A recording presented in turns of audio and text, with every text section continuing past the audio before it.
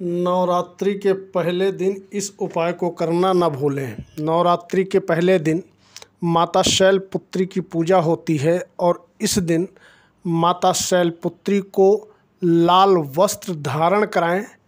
इसके अलावा माता के ऊपर लाल पुष्प ज़रूर अर्पित करें। आप एक तांबे का सिक्का भी अर्पित कर सकते हैं और इसके बाद ओम दुम दुर्गाय नमः या ओम शैलपुत्रये नमः। इस मंत्र का कम से कम 108 बार जप करें। इससे आपको विशेष लाभ की प्राप्ति होगी। अपने परिवार की खुशहाली के लिए सभी भक्त माता से आशीर्वाद मांगते हैं और वे कलश स्थापना की रस्म को पूरी करते हैं और नौ दिनों तक माता के समक्ष देसी घी का दीपक अर्पित करते हैं। इसके अलावा आप यह भी ध्यान रखें कि माता को सबसे ज़्यादा प्रिय होता है नारियल, जो जटा वाला नारियल है। यह आप माता जी को ज़रूर चढ़ाएँ।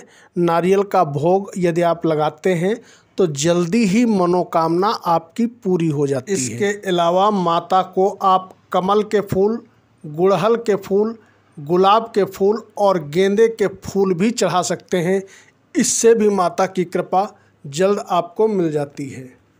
अब बात ये आती है कि बहुत से लोग ये प्रश्न करते हैं कि शाम को नवरात्रि में पूजा कैसे करें? तो प्रतिदिन नवरात्रि में शाम के समय आप माता के सामने एक घी का दीपक जलाएँ।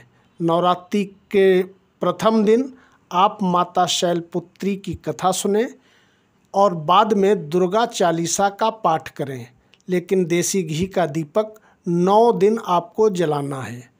अगर इस प्रकार से आप अपनी पूजा अर्चना संपन्न करते हैं तो शीघ्र ही आपकी कामना पूरी हो जाती है। अब अंत में एक सावधानी भी आपको रखनी चाहिए। वह यह है कि माता की पूजा में, किसी भी देवी की पूजा में मदार हर श्रृंगार आँख के फूल गलती से भी नहीं चढ़ाने चाहिए।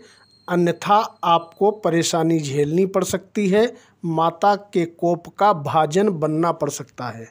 कमेंट में जय माता दुर्गे ज़रूर लिखिएगा। नमस्कार।